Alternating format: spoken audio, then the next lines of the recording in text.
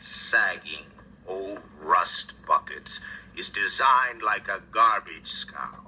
Half the quadrant knows it. That's why they're learning to speak Klingonese.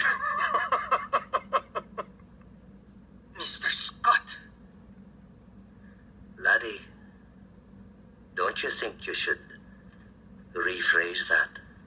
You're right. I should. I didn't mean to say that the Enterprise should be hauling garbage. I meant to say that it should be hauled away as garbage.